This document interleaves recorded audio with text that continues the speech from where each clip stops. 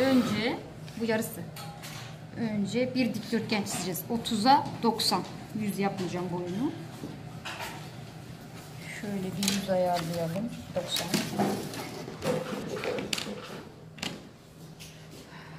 Doksan. Tamam.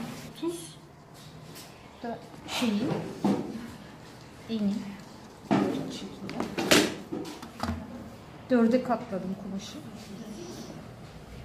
Ön arka aynı. Sadece belde fark edecek.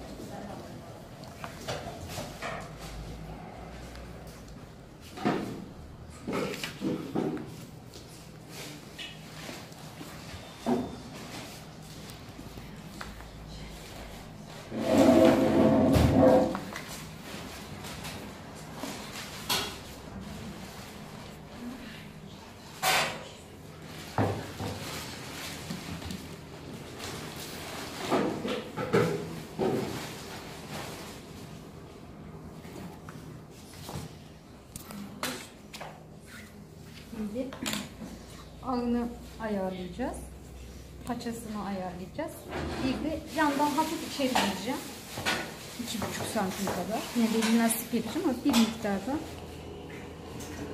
şey yapacağım. Kalça düşüklüğü. Kavis verelim. Buradan biraz da dışarı çıkmak istiyorum.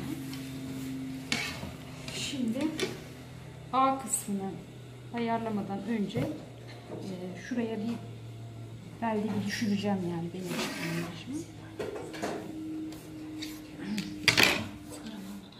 3 santim ön için olsun.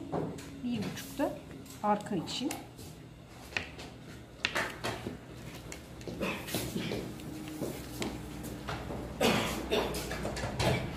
bir santim ağını düşürüyorum. Bu istediğiniz yere kadar olur. Kendi üzerinizde de belirleyebilirsiniz. Aa nereden başlasın diye. Sonra şuradan da açabildiğim kadar kalça hattını aşağıya doğru açacağım. Ne kadar açılırsa belirleyebilirsiniz de.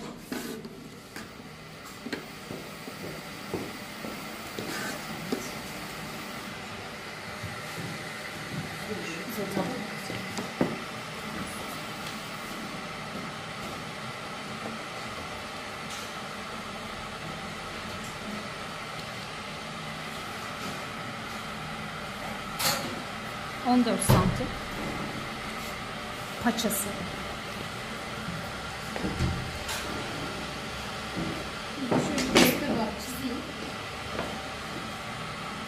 Biraz dik gelecek.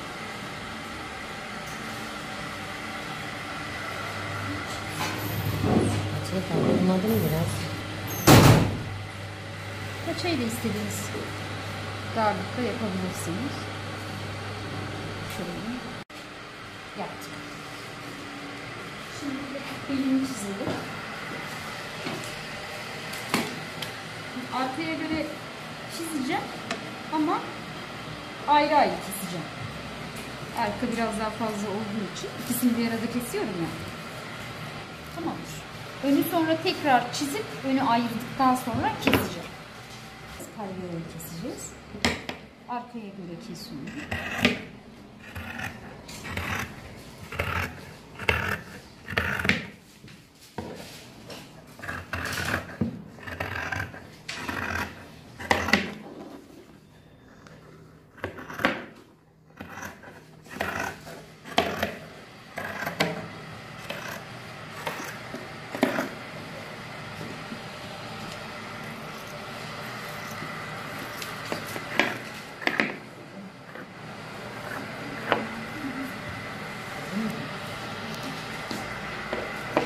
Biraz daha fazla pay vereceğim. Kıvırmayı düşünüyorum.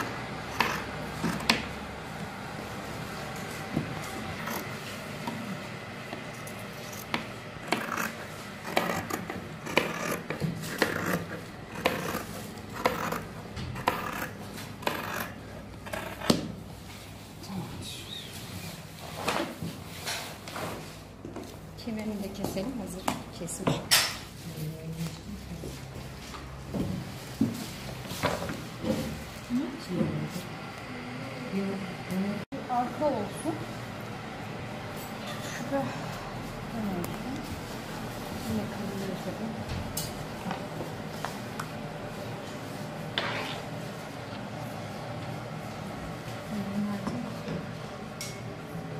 Bunları kesmenin en sinir yanında bu. Olmuştur o. Önü biraz daha e, yapacağım için e, şuradan alacağım. Tabii kaydederek.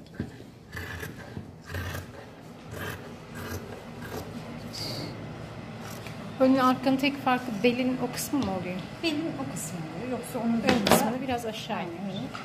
Cepleri de vardı. Cep kalıbımız vardı. Herhangi bir şeyden cep kalıbı aldı.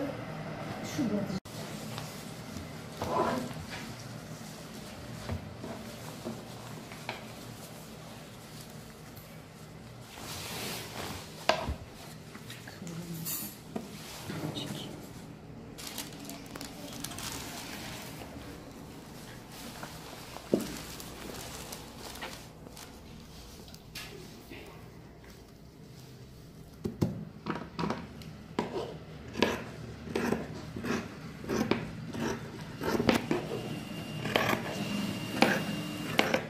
Böyle ben böyle edeceğim. Model farklı çünkü.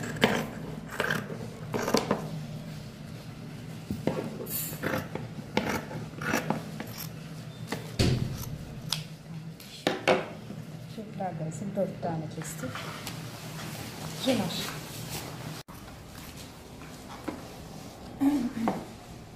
Dört santimlik e, lastik kullanmak istiyorum ben. O nedenle 10 santimden keseceğim. Biraz zor kesilecek ama.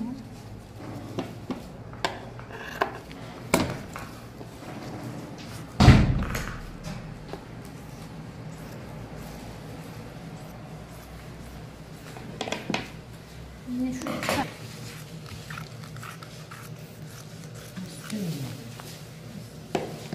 çok dönüyor.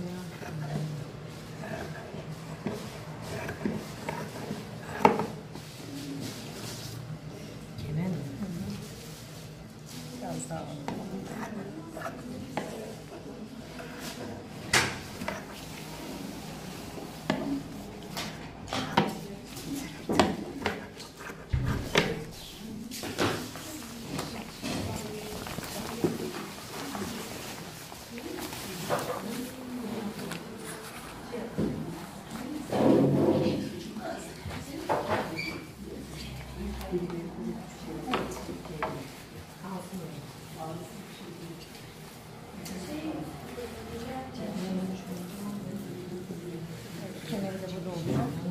Kadar üzülecek.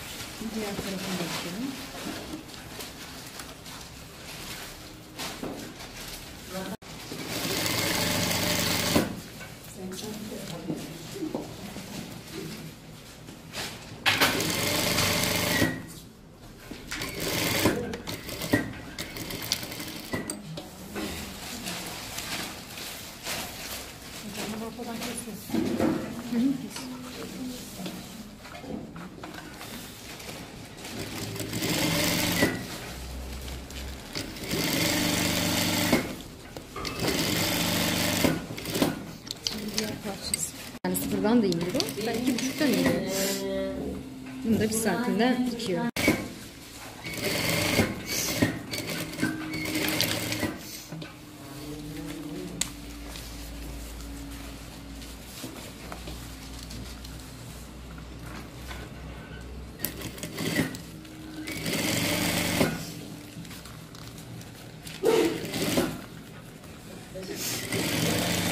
Hasta mı?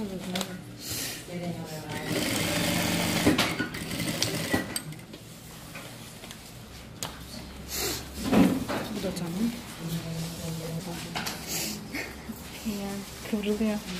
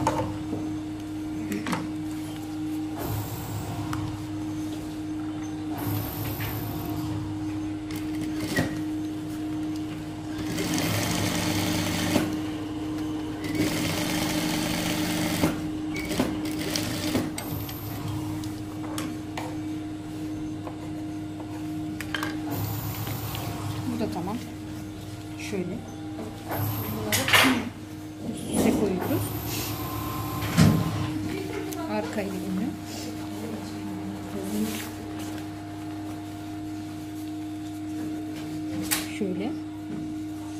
Buradan başlayacağım. Böyle dikeceğim. Yanlış dikmiş olacağım. Dikmiş.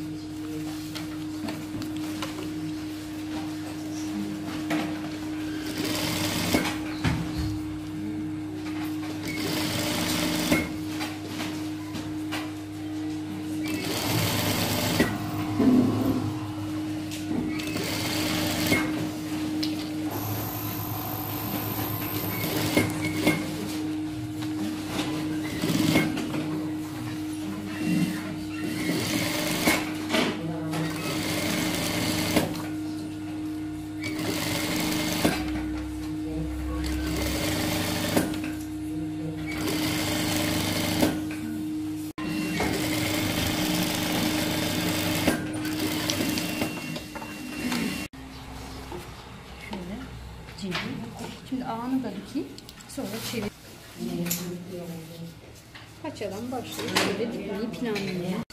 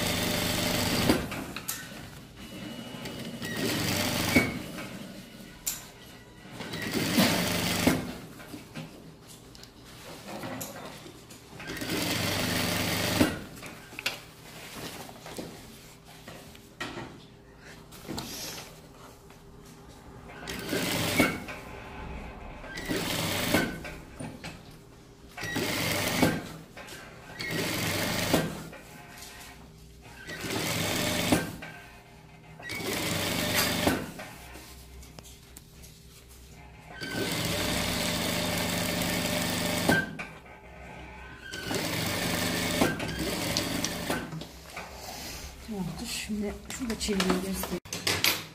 Şöyle kıvrıldığı için tuhaf duruyor.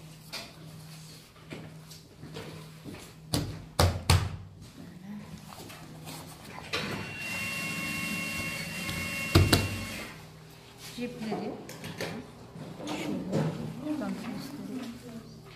Şimdi bu biraz düzülecek. Şöyle olacak. Lastik takıyorum çünkü. Model böyle. Şimdi de lastiği dikiyorum. Şöyle. Lastik için ölçümüz var mı hocam? Yüzde ben küçüktüm. Elime göre.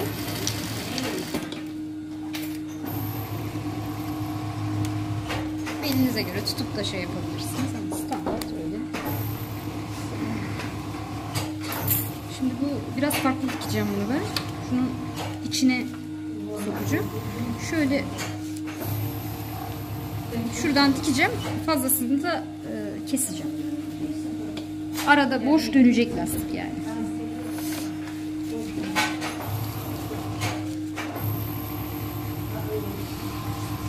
Mesela polo garaj hep böyle yapıyor. Arada lastiği boş bırakıyor. O da sonra sıkıntı oluyor gerçi. Lastik dönüyor içinde ama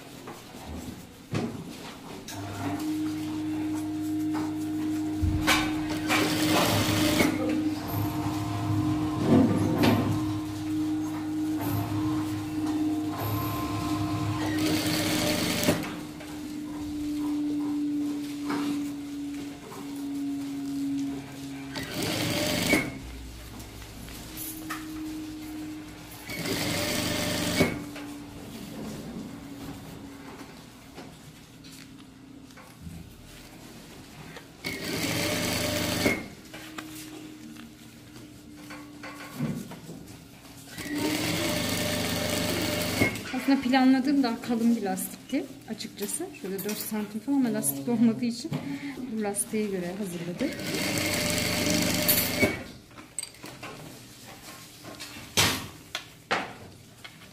Kontrol edelim. Olmuştur herhalde. Şimdi bir de bunu kolay dikmek için yaptım.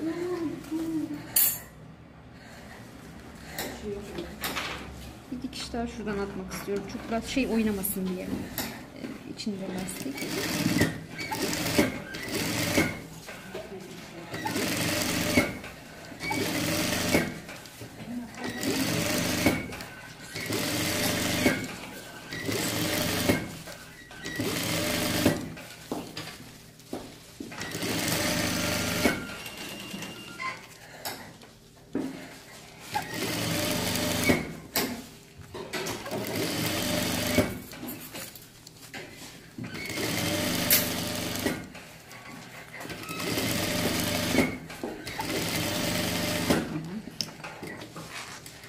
Fazlasını keseceğim. Bir santim kala keseceğim ki dikerken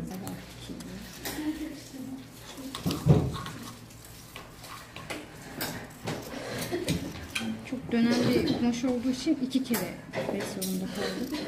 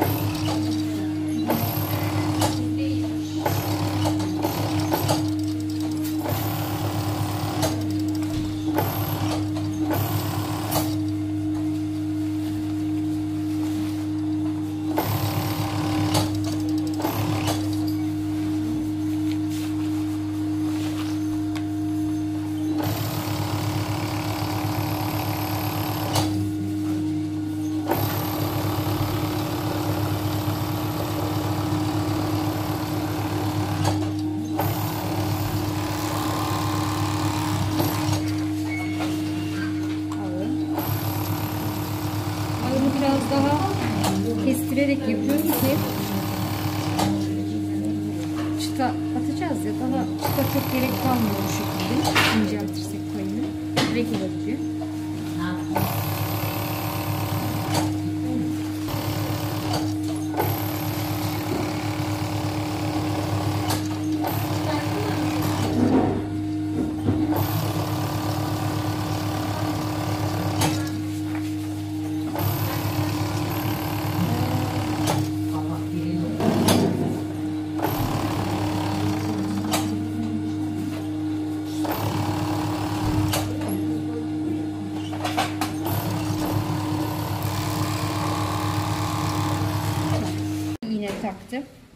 Yan dikişlere bunun ortasını yani lastiğin ortasını yanlarını denk getirip hepsine iğne taktım. Eşit bir şekilde etrafından e, şey yapayım diye. Eşit bir dağılım olsun yüzde diye. Şimdi yüzü yüzüne denk getirdim. Buradan daha önce diktiğim dikişin üstünden başlayabilirim. Şimdi bu araları çekerek dikeceğim. Hafif de e, büzdüm. Biraz büzgü olsun diye. Birazcık arka ve öne şalvar görüntüsü vermek için. Şimdi. Arada ara ara kontrol ediyoruz. Şu şekilde bakıyoruz. Denk geliyor mu gelmiyor mu diye. Bunu valette de yapabiliriz. Şu şekilde yapabilirsiniz. Ya da makineyle dikip sonra ovallara geçebilirsiniz. Şimdi orta bakın buraya geldim. Burada tekrar duruyorum. İğneyi batırıyorum. Tekrar şurayı da böyle hafif çekiyorum. Denk getireceğim şekilde. Şöyle çekiyorum. Sonra yine daha önceki çizgiyle paralel bir tam üstünden gidecek şekilde dikiyorum. Yine buraya geldim. Muhtemelen burası yanı. Burada da yine aynı şekilde iki iğne burasını çekiyorum.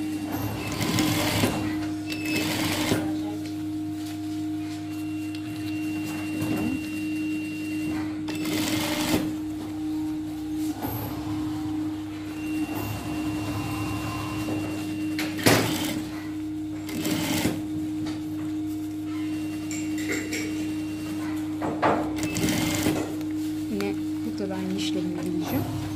Şöyle bir kontrol ediyorum.